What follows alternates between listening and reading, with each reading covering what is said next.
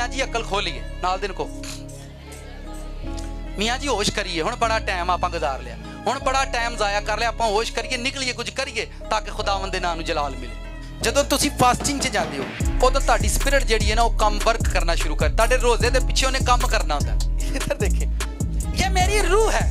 ਦੱਸਣ ਲੱਗਾ ਕਿ ਕੀ ਹੁੰਦਾ ਜਦੋਂ ਫਾਸਟਿੰਗ 'ਚ ਤੁਸੀਂ ਜਾਂਦੇ ਹੋ? ਇਹ ਮੇਰੀ ਰੂਹ ਹੈ ਔਰ ਇਹ ਮੇਰਾ ਬਦਨ ਹੈ। ਬਦਨ ਮੇਰਾ ਗੁਨਾਹ ਕਰਦਾ ਹੈ, ਬਦਨ ਮੇਰਾ ਨਪਾਕੀ 'ਚ ਜਾਂਦਾ।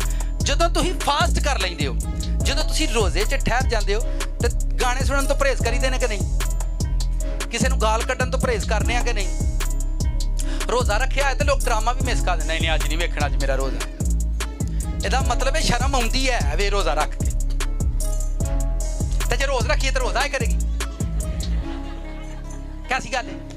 ਰੋਜ਼ ਰੱਖੋ, ਰੋਜ਼ਾ ਆਏਗੀ ਰੋਜ਼ਾ ਰੱਖ ਕੇ ਸ਼ਰਮ ਆਉਂਦੀ ਸਿਗਰਟ ਨਹੀਂ ਪੀਣਾ, ਤੇ ਫਿਰ ਰੱਖੋ, ਤਾਂ ਕਿ ਰੋਜ਼ ਸ਼ਰਮ ਆਏ। ਰੋਜ਼ਾ ਰੱਖ ਕੇ ਫੀਲਿੰਗ ਆਂਦੀ ਅੱਜ ਗਾਣੇ ਨਹੀਂ ਸੁਣਨੇ। ਤੇ ਦਾ ਮਤਲਬ ਰੋਜ਼ਾ ਸ਼ਰਮ ਦਵਾਉਂਦਾ ਰੋਜ਼ਾ ਕੀ ਦਵਾਉਂਦਾ ਸ਼ਰਮ ਦਵਾਉਂਦਾ ਅੱਜ ਨਾ ਵੇਖੀ ਗਾਣੇ, ਅੱਜ ਨਾ ਸੁਣੀ। ਅੱਜ ਤੂੰ ਰੋਜ਼ੇ ਚ ਤੇ ਭਲਿਓ ਰੋਜ਼ ਰੋਜ਼ਾ ਰੱਖੋ ਤਾਂ ਕਿ ਰੋਜ਼ ਹੀ ਸ਼ਰਮਾਉਣ ਤੁਹਾਨੂੰ ਰੋਜ਼ਾ ਸ਼ਰਮ ਦਵਾਉਂਦਾ